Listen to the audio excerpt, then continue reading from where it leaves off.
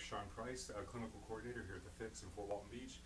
Um, this is video number two in the mindset of health and healing. And like I said in video number one, we really focus a lot on um, on, on saying patients tend to focus a lot on saying that they want things and saying that they want things to happen, and there comes a, a shift in your healing process. Um, a lot of times when patients end up coming up, coming into our office, we're kind of their last resort. They've gone through the um, the phases of, you know, they're going to try the they're going to try this, they're going to try that, they, they, you know, or maybe they aren't trying, maybe they're just um, just kind of floating through their days, but they hit a point where the pain of their current health situation is so significant that they finally come in looking for help and help, and they're finally really willing and ready to apply actions and, and apply thoughts and apply daily congruent behavior to the goal that they said they want for a, a long time. So what do I mean by that? So wh what do you say you want with regards to your health? You say you want health, you want energy, you want vitality, you want to have sharp mental focus, you want to have a strong, you know, sex drive, a strong motivation to get into your daily activity. You want to have restful sleep and be passionate and be, you know, uh, positive for your kids. You may say you want all these things, and you may say that anytime anybody asks you, or you may say it when you're praying, or you may say it when you're meditating.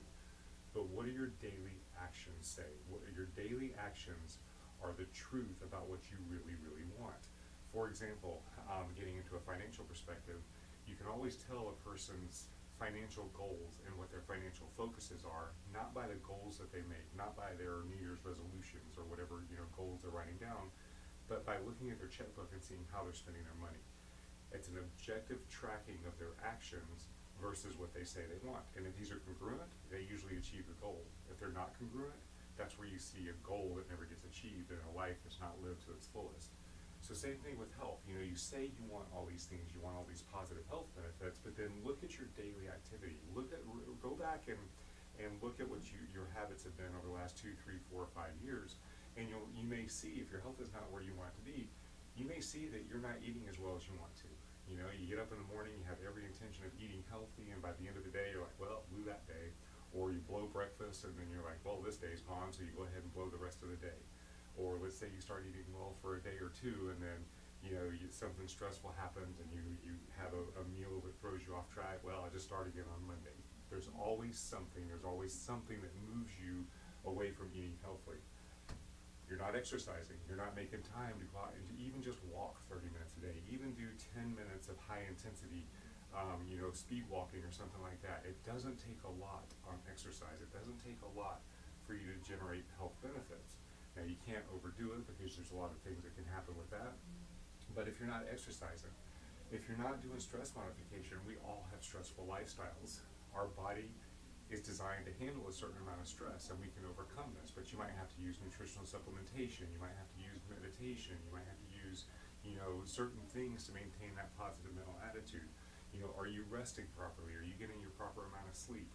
Are you doing the things that promote health? Are you doing the things that get you to what you say it is you want? Are your actions congruent with what you're trying to do?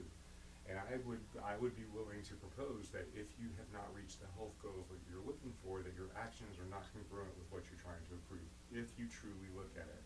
We all say to ourselves sometimes, you know, I haven't been eating that, that bad this last couple weeks. I don't understand why I can't achieve certain goal. But if you objectively looked back at it, you would see that, you know, you haven't been eating whole foods, you have been snacking and maybe not paying mental attention to it. You haven't been sleeping. You know, you've been doing all these things that are not congruent. So the first step that we have to understand is that our thoughts and our actions consistently, our consistent thoughts and our consistent actions are what leads to our results. And I'm going to tell you why that happens in the next video. But what are your thoughts and what are your actions and what are you doing through the day? Are you making reasons for the for why you're not doing what you need to do, or are you getting results? The two do not exist at the same time.